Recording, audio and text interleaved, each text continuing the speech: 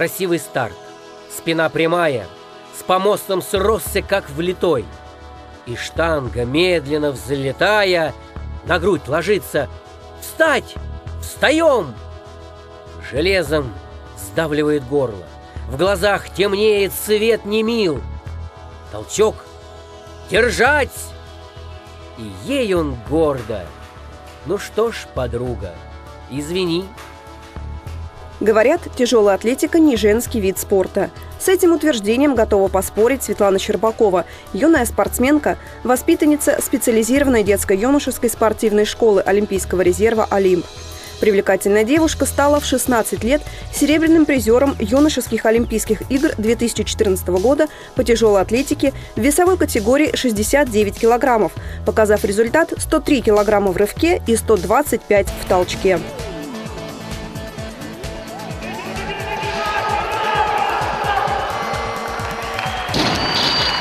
Заниматься тяжелой атлетикой Света стала с 9 лет с подачи отца. Сначала это было игрой, но девочка взрослела, менялась и отношение к спорту, к тренировкам. Возрастом я уже понимаю, осознаю, что это более серьезный вид спорта. То есть это не игра, и здесь есть цель, к которой иду. То есть это не только как увлечение, это еще и работа. Именно работа.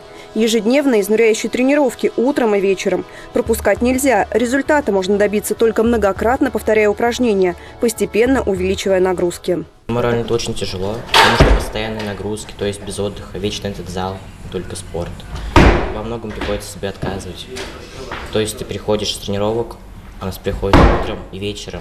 И получается почти весь день ты проводишь в зале. После тренировок ты спишь, то есть ты не можешь не пугать ничего, потому что нужно отдыхать. И получается на обычную жизнь, ну, девочек, там, подростков у меня нет. То есть это морально тоже очень тяжело, потому что ну, весь вся голова в зале. А все ради заветной цели – участия и победы в самых престижных международных состязаниях – играх 31-й Олимпиады 2016 года. К ней Света и идет, уверенно побеждая в соревнованиях регионального и федерального уровней. Светлане Щербаковой удалось побить и рекорды области в рывке, толчке и сумме двоеборья. Бывшие рекорды эти принадлежали э, Татьяне Кашириной. Татьяна Каширина – это сейчас серебряный призер Олимпийских игр и абсолютный чемпион мира. То есть у нее рекорды ее мира абсолютно все стоят в рывке, в толчке и в сумме. Вместе со Светланой приумножают славу родного клуба и спортивной школы ее коллеги по залу Наталья Щербакова, Ирина Фурдик. Целеустремленные, трудолюбивые. Только представьте, Наташа вышла на помост спустя месяц с первой тренировки. Я сюда пришла с мамой, а, как бы тоже подкачаться, привести себя в форму на лето. И посмотрела, как мальчики, девочки поднимают, тоже хотела. Вот э, тренер мой сказал, что выступить можно на соревнованиях. Ну, выступил и понравилось. И все. И все. Тяжелая атлетика прочно вошла в жизнь Натальи. Ее копилке десятки побед. На одних из последних соревнований среди юниоров до 21 года Наталья Щеголева завоевала серебро. Этот выход на помост останется в памяти Наташи надолго. Борьба за медаль оказалась серьезной.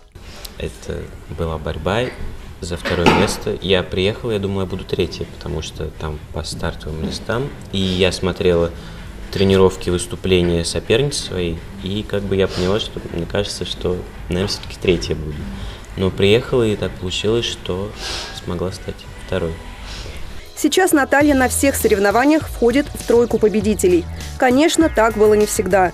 Случались в спортивной карьере Щеголевой и неудачи что только закалило ее спортивный дух. Было обидно, и, но это, наверное, меня стимулировало тренироваться больше, и чтобы завоевывать какие-то первые места. Самая молодая тяжелоатлетка, показывающая успешные результаты, Ирина Фурдик. Ее первая тренировка состоялась чуть меньше двух лет назад. Ире удалось за год выполнить норматив мастера спорта по тяжелой атлетике. Когда я выполнила мастера спорта, я поняла, что этого мало, что нужно работать дальше, что с этим результатом далеко не пойдешь. На региональном чемпионате в марте этого года из 13 рекордов Московской области три достижения записала в свой актив наша спортсменка. Отдыхом называет каждое посещение клуба Ирина, несмотря на то, что тягает штангу. Мне нравится заниматься тяжелой атлетикой, и если я отдыхаю больше двух дней, меня тянет зал, я не могу жить без тренировок. Мне как-то я здесь расслабляюсь. Ну, кажется, что поднятие тяжести, наоборот, должно как-то э, ну, можно сказать, утомлять меня, а я, наоборот, прихожу здесь и расслабляю свою голову. Сейчас девушки усиленно готовятся к первенству мира, которое пройдет в Перу. Самое важное на каждой тренировке – техника выполнения поднятия штанги, основа спорта. Их тщательно отрабатывают перед каждым выходом на помост. На каждых соревнованиях надо подходить ответственно, со всей серьезностью, потому что э, травмы получаются не на больших весах, а наоборот на маленьких. Когда человек расслабленный, вот, он э, уверен на 100%, что это все подымет, что это все проходил. И как раз в эти моменты случаются травмы. На всех соревнованиях надо подходить ответственно, серьезно.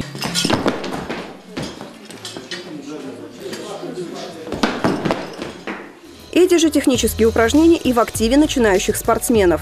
Многие из них пришли в клуб вслед за товарищами, другие идут по стопам родителей. Среди мальчишек хрупкая, маленькая даже для своего возраста девочка. Вес Влады около 30 килограммов, что не мешает ей рвать 25 и толкать 33 килограмма. Надо долго тренироваться и добиваться успеха. Таков секрет этой дюймовочки. Я хочу в будущем стать сама тренером, как Валерий Анатольевич. Это моя мечта – тренировать девочек и мальчиков.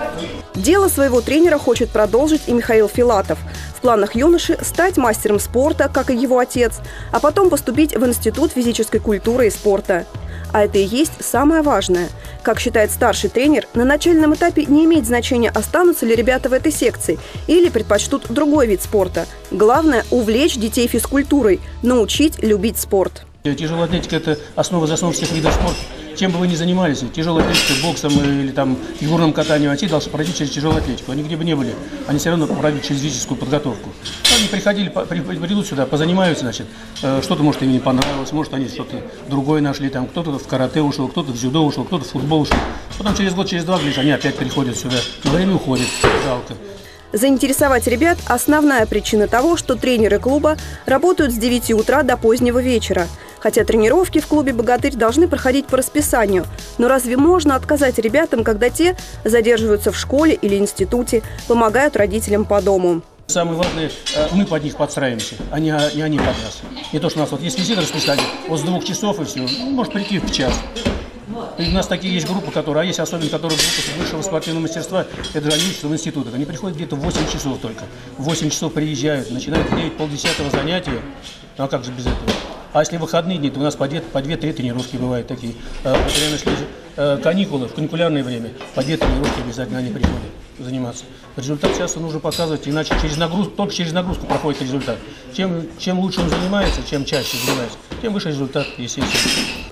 Благодаря такому подходу к спортивному воспитанию детей и молодежи клуб каждый год занимает лидирующие позиции в регионе. Не стал исключением и 2014. Помимо э, российских и международных соревнований, наши вот молодые атлеты да, э, прекрасно выступают на подмосковных соревнованиях. Это на первенствах области, на чемпионатах области и на спартакиаде области.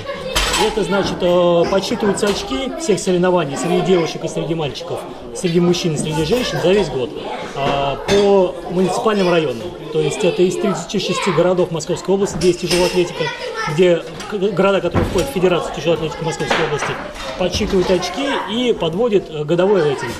Вот. Мы город Видное, тяжелая атлетика города Видного, Ленинского района. Третий год подряд становимся чемпионами, абсолютными чемпионами Московской области по тяжелой атлетике и выиграем годовой кубок. Всегда есть к чему стремиться. Нынешние достижения спортсменов-тяжелоатлетов района не причина останавливаться, а повод двигаться дальше.